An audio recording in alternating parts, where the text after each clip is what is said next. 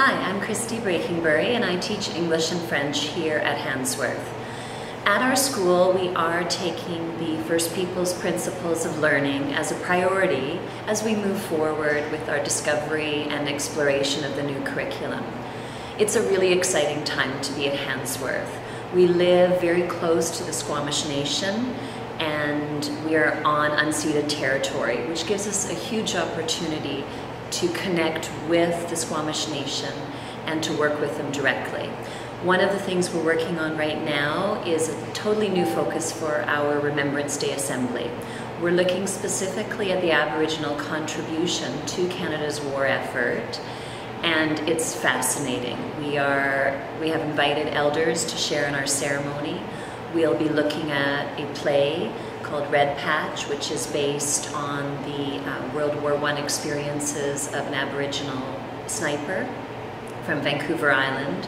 Very place-based, very authentic, and focusing on how much Canada relied on the Aboriginal soldiers, messengers, nurses, and in particular the snipers and we're very excited to take a new direction with our Remembrance Day Assembly. We're welcoming a First Nations vet as one of our speakers, and this is important to bring the community into our school.